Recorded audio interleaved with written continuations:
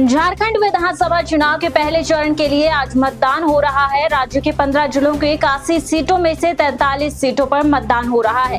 10 राज्यों के 31 विधानसभा सीटों और केरल के वायनाड लोकसभा सीट पर उपचुनाव के लिए भी आज मतदान हो रहा है। मतदान सुबह सात बजे से शुरू हो गया और शाम पाँच बजे तक चलेगा। चुनाव पर सीपीआई नेता डी राजा कहते हैं की झारखंड और महाराष्ट्र में चुनाव बहुत महत्वपूर्ण हो गए हैं, क्यूँकी इससे भारत में राजनीति के भविष्य की दिशा का संकेत मिलेगा।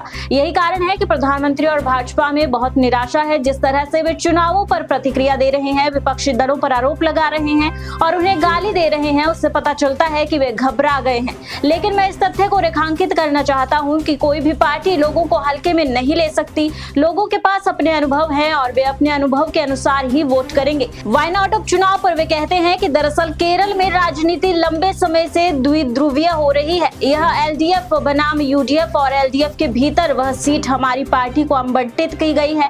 इसलिए यह किसी व्यक्ति के खिलाफ कुछ नहीं है। लड़ाई एलडीएफ और यूडीएफ के बीच है और हमारा अभियान अच्छा रहा, इसलिए चलिए इंतज़ार करते हैं और देखते हैं कि लोग अपना फैसला कैसे देते हैं।